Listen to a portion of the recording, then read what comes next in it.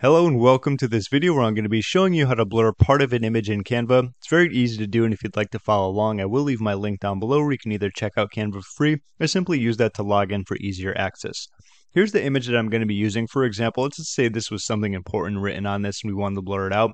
What we want to do is click on the picture. From here go to edit image. What you can do is scroll down ever so slightly. I might have it here. Sometimes it's going to be in like recently used, but here's going to be blur.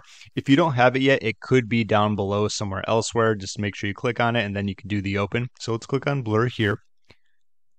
Now, normally, if you click on auto, it's going to blur everything, but this is for a specific part of the image. So let's click on this with the plus sign.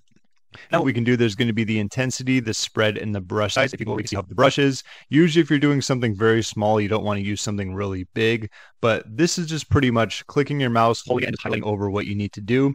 That's pretty much it. You can do over so sometimes you can redo it again, just kind of do an extra spread over it. You know, you can do an uh, extra intensity. But what happens is every time I do this, like I, my computer speeds up and I sound like a chipmunk. So that's going to be the tutorial. And the end is just going to be me quickly showing you how it's done. Uh, thank you for enjoy.